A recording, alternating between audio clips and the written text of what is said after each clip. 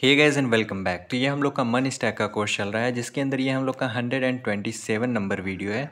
हम लोगों ने ऑलरेडी अपने कोर्स के अंदर H T M L C S S और बूट स्ट्रैप को कंप्लीट कर रखा है। और आज के अपने वीडियो के अंदर हम लोग जावा स्क्रिप्ट के अंदर, अपने डॉम के अंदर क्वेरी सेलेक्टर के बारे में पढ़ने वाले हैं। हम लोगों ने ऑलरेडी अपने एलिमेंट को सेलेक्ट करना देख रखा है, कैसे हम लोग करते हैं और अब हम लोग अपने नेक्स्ट अगले टाइप से देखेंगे कि कैसे हम लोग अपने एलिमेंट को सेलेक्ट करते हैं अपने क्वेरी सेलेक्टर की हेल्प से। तो अगर आप इस फ्री कोर्स को देख रहे हो तो इस चैनल को सब्सक्राइब करना ना भूलें। चलिए स्टार्ट करते हैं। तो यहाँ पे हम लोग क्वेरी सेलेक्टर को पढ़ने वाले हैं। इसके पहले हम लोगों ने ऑलरेडी अपने एलिमेंट को सेलेक्ट करना देख रखा है। जैसे get element by ID get element by class name get element by tag name query selector भी बिल्कुल उसी तरह होता है बट हम लोग का क्वेरी सेलेक्टर और भी इजी होता है। तो मेनली हम लोग ज़्यादातर प्लेसेस पे अपने क्वेरी सेलेक्टर का ही यूज़ करते हैं, ठीक? तो चलिए सबसे पहले अपने क्वेरी सेलेक्टर के बारे में थोड़ा सा पढ़ते हैं। तो देखो यहाँ पे लिखा हुआ है the query selector method in JavaScript is a versatile and powerful way to select and retrieve a single H element from the document based on C S S selector यहाँ पे दो तीन चीज़ें लिखी हुई हैं। सबसे पहले यहाँ पे लिखा हुआ है कि क्वेरी सेलेक्टर की हेल्प से हम लोग अपने सिंगल एच एलिमेंट को सेलेक्ट करते हैं, ठीक है? अगर हम लोग को सिंगल एच एलिमेंट को सेलेक्ट करना है, तब हम लोग क्वेरी सेलेक्टर का यूज़ करेंगे। और अगर हम लोग को मल्टीपल एलिमेंट को सेलेक्ट करना है अपने क्वेरी सेलेक्टर की हेल्प से तो हम लोग क्वेरी सेलेक्टर ऑल का यूज़ करेंगे। इसको अभी हम लोग देखेंगे अभी थोड़ी देर में। अब मेनली जो हम लोग का क्वेरी सेलेक्टर होता है, वो हम लोग के सी एस सेलेक्टर के बेस्ड होता है। यानी कि जैसे लेट सपोज़ दैट कि मैंने यहाँ पे एक एच वन क्रिएट कर लिया है और इस एच वन के अंदर मैंने आईडी दे दी। जैसे मैंने यहाँ पे टी आईडी दे दी, ठीक? ये हम लोग का एक एच वन है, ठीक? अब इस एच वन को अगर मुझे अपने सी एस एस के अंदर सेलेक्ट करना होता था तो हम लोग कैसे करते थे? हम लोग हैज़ लगाते थे और हैज़ लगा के अपने आईडी को लिखते थे टी लिखते थे। और इसके ऊपर जितनी भी हम लोग को प्रॉपर्टीज़ लिखनी होती थी, वो हम लोग लिखते थे। तो यहाँ पे हम लोग आईडी को सेलेक्ट करने के लिए हैज़ का यूज़ कर रहे हैं। उसी तरह लेट सपोज़ दैट कि मैं एक पी क्रिएट करता हूँ, जिसके अंदर मैंने क्लास दे दी। क्लास मान लेते हैं, मैंने यहाँ पर एम दे दिया, ठीक? अब यहाँ पे हम लोग अपने सीएसएस के अंदर अगर कोई एलिमेंट को सेलेक्ट करना है, जिसको हम लोगों ने क्लास दे रखा है तो उसके लिए हम लोग डॉट का यूज़ करते थे तो यहाँ पे मैं डॉट लगा करके एम लिखूँगा। तो इस तरह हम लोग अपने सीएसएस के अंदर अपने एलिमेंट को सेलेक्ट कर देते हैं। सेम वही चीज़ हम लोग यहाँ पे अपने क्वेरी सेलेक्टर के अंदर भी यूज़ करते हैं। यहाँ पे देखो तो यहाँ पे हम लोग का डॉट लगा हुआ है। यहाँ पे देखो, यहाँ पे हम लोग का हैश लगा हुआ है। डॉट वाले का मतलब है कि यहाँ पे हम लोग अपने क्लास वाले एलिमेंट को सेलेक्ट कर रहे हैं।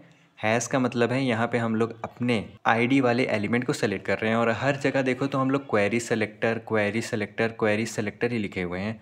हम लोग को मल्टीपल चीज़ें नहीं लिखनी पड़ रही है। जैसे हम लोग पहले अपने क्लास वाले एलिमेंट को अगर सेलेक्ट करते थे तो हम लोग get element by class name लिखते थे।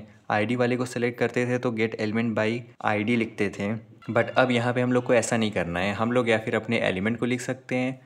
या फिर डॉट लगा करके अपने क्लास वाले को लिख सकते हैं, हैश लगा करके अपने आईडी वाले को लिख सकते हैं। बहुत ईजी है, यानी कि एक सेलेक्टर की हेल्प से हम लोग मल्टीपल एलिमेंट को सेलेक्ट कर सकते हैं अपने सी एस एस सेलेक्टर की बेस पे। तो चलिए इसका कोड करके देखते हैं हम लोग। तो यहाँ पे देखो, यहाँ पे हम लोग का पूरा का पूरा एच टी एम एल एक क्रिएटेड है, जिसके अंदर मेनली हम लोग के पास एच वन है पी है एच टू है पी है एच थ्री है और कुछ हम लोग के पास लिस्ट है एच फोर है पी है एंकर टैग है। मतलब मेनली हम लोग के पास सारे एलिमेंट यहाँ पे प्रेजेंट हैं। अब यहाँ पे हम लोग अपने प्रीवियस वे में अगर देखें तो लेट सपोज़ दैट कि मुझे यहाँ पे अपने एच वन को सेलेक्ट करना है तो हम लोग सबसे पहले कैसे सेलेक्ट करते थे? लेट यहाँ पे मैं एलिमेंट वन लिख देता हूँ। Document dot get element by tag name ठीक? और यहाँ पे अगर मैं अपने टैग को पास करूँ लेट सपोज़ दैट मैंने एच वन को पास कर दिया, और मैं यहाँ पे कॉन्सोल लॉक कराता हूँ एलिमेंट वन सेव करूँ मैं तो देखो यहाँ पे हम लोग का पूरा कलेक्शन रिटर्न हो गया, क्योंकि यहाँ पे जितने भी हम लोग के एच वन वाले एलिमेंट होंगे, सब रिटर्न होंगे। एच वन के कितने एलिमेंट हैं, जितने भी एलिमेंट हैं, वो हम लोग के रिटर्न हो गए हैं, ठीक? अब लेट सपोज़ दैट कि मैं यहाँ पे इसको एच वन को पी के साथ रिप्लेस करता हूँ। अब अगर मैं सेव करूँ तो यहाँ से हम लोग के पी के पूरे एलिमेंट आ गए तो ये मेनली हम लोग का बेसिक वे था बट इसी चीज़ को हम लोग अपने क्वेरी सेलेक्टर की हेल्प से कर सकते हैं। तो उसके लिए हम लोग क्या करेंगे? लेट अगेन एक वेरिएबल क्रिएट करते हैं, इसको मैं टू नाम दे देता हूँ, ठीक? अब क्वेरी सेलेक्टर भी हम लोग का एक डॉक्यूमेंट का ही मेथड है फ़ंक्शन है। तो हम लोग सबसे पहले डॉक्यूमेंट लिखेंगे। डॉट क्वेरी सेलेक्टर और अगेन अब हम लोग इसके अंदर पी को पास कर देंगे। अब अगर मैं सेव करूँ और इसको कौनसोल लॉग भी करा देते हैं हम लोग। एलिमेंट टू सेव करूँ मैं तो यहाँ पे देखो हम लोग का पी डॉट कंटेंट आ गया। यानी कि क्वेरी सेलेक्टर हम लोग का पूरा का पूरा एलिमेंट रिटर्न नहीं करता है, हम लोग का केवल वो फ़र्स्ट एलिमेंट रिटर्न करता है। तो यहाँ पे जो भी हम लोग का सबसे पहला पी होगा, वो रिटर्न होगा, यानी कि ये वाला पी रिटर्न होगा। अगर मैं यहाँ पे नीचे आकर के इसका अगर इनर टेक्स्ट देखूँ तो यहाँ पे देखो आपको मिल जाएगा this is paragraph of text this is paragraph of text ठीक? तो क्वेरी सेलेक्टर क्या करता है? हम लोग के सबसे पहले वाले एलिमेंट को सेलेक्ट करता है। अब यहाँ पे हम लोगों ने अपने टैग नेम की हेल्प से अपने एलिमेंट को सेलेक्ट की हुई है। अब इसी टैग के अंदर देखो हम लोग के पास क्लास है।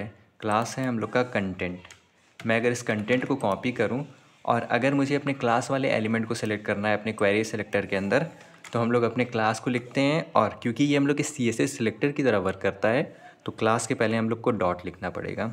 सेव करूँ तो ये देखो यहाँ पे हम लोग का क्लास वाला कंटेंट आ गया। अब ये हम लोग के एलिमेंट की तरह दिख रहा है। अगर मैं यहाँ पे डी आई आर लिख दिया तो यहाँ पे अब हम लोग को ऑब्जेक्ट की तरह दिखेगा। अगेन अगर मैं यहाँ पे थोड़ा सा नीचे आऊँ तो यहाँ पे देखो अगेन हम लोग का इनर टेक्स्ट वही होने वाला है, ठीक? तो इस तरह देखो, हम लोगों ने अपने सेम सेलेक्टर की हेल्प से अपने क्लास वाले एलिमेंट को भी सेलेक्ट कर लिया। अगर हम लोग अपने प्रीवियस स्टाइल में करते तो हम लोग को यहाँ पे दूसरा मेथड यूज़ करना पड़ता get element by class name और तब इसके अंदर हम लोग अपने क्लास को पास करते हैं। क्लास का नाम क्या था? कंटेंट। बट जो हम लोग का ये वाला मेथड है, इसमें हम लोग अपने सी एस एस सेलेक्टर का यूज़ नहीं करते हैं बट हम लोग अपने क्वेरी सेलेक्टर के अंदर सी एस एस सेलेक्टर का यूज़ करते हैं। अगर मुझे अपने आईडी वाले एलिमेंट को सेलेक्ट करना है लेट सपोज़ दैट यहाँ पे मेरे पास एक आईडी है सेक्शन थ्री लिखा हुआ है तो हम लोग क्या करेंगे? अगेन सिंपल यहाँ पे आएँगे और अपने आईडी को पास करेंगे। क्योंकि हम लोग का ये आईडी है तो हम लोग को इसके आगे हैश लगाना होगा। अब अगर मैं सेव करूँ तो ये देखो हम लोग का एस थ्री आ गया। अगर मैं नीचे आऊँ तो ये रहा हम लोग का इसका इनर टेक्स्ट यहाँ पे लिखा हुआ है दिस इज़ अ हेडिंग करके। यहाँ पे आए तो ये दिस इज़ अ हम लोग का हेडिंग थ्री तो कुछ इस तरह हम लोग का क्वेरी सेलेक्टर वर्क करता है, ठीक? अब यहाँ पे अगर हम लोग को अपने क्वेरी सेलेक्टर के अंदर मल्टीपल एलिमेंट को सेलेक्ट करना है तो वो भी हम लोग कर सकते हैं। बस हम लोग को क्या करना होगा? क्वेरी सेलेक्टर ऑल मेथड का यूज़ करना होगा। लेट सपोज़ दैट कि मैं अपने सारे पी टैग को सेलेक्ट करना चाहता हूँ, ठीक? तो हम लोग क्या करेंगे यहाँ पे? मैं अगेन एक वेरिएबल क्रिएट कर देता हूँ एलिमेंट थ्री नाम का। Document dot query selector all और जितने भी हम लोग के पी वाले एलिमेंट हैं, उन सबको मैं सेलेक्ट करना चाहता हूँ। और मैं उसको यहाँ पे console dot D I R करता हूँ। तो देखो हम लोग का नोड लिस्ट आ गया, जिसके अंदर ब्रैकेट के अंदर थ्री लिखा हुआ है। यहाँ पे नोड लिस्ट इसलिए लिखा हुआ है क्योंकि मैंने डॉम के अंदर बताया था कि जितने भी हम लोग के एलिमेंट होते हैं, जो हम लोग का ट्री का स्ट्रक्चर क्रिएट होता है, उन सारे सेपरेट एलिमेंट को हम लोग नोड कहते हैं।